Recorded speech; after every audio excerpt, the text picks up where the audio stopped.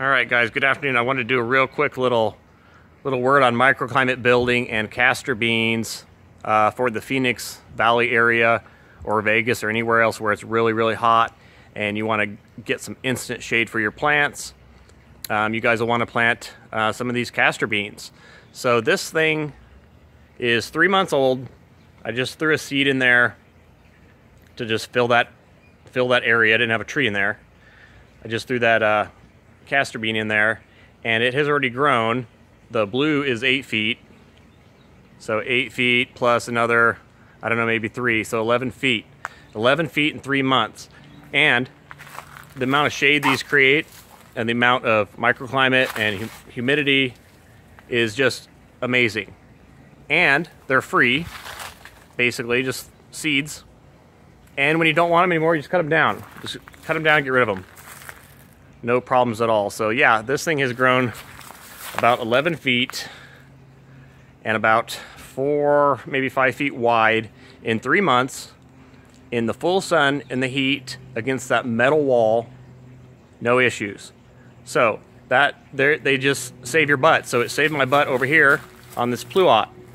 So I put this three in one pluot in and I didn't end up getting the actual pluot till, I don't know, late. May, June. It was hot. I don't know. I planted it.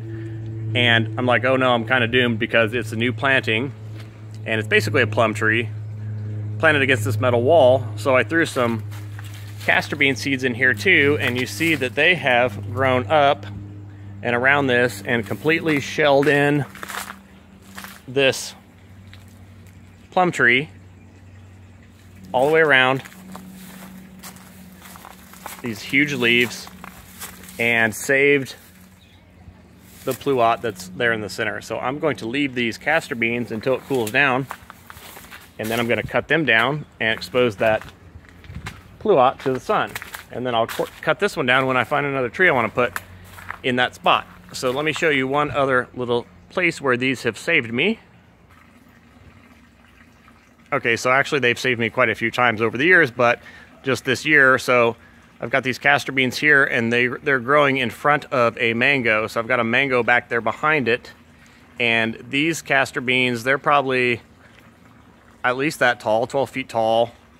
And they're providing all this shade to that mango that's behind it that would normally get full afternoon sun.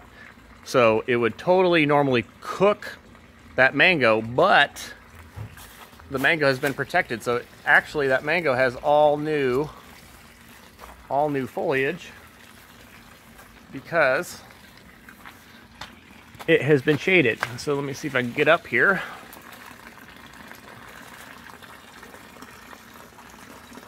You guys see that? It's all new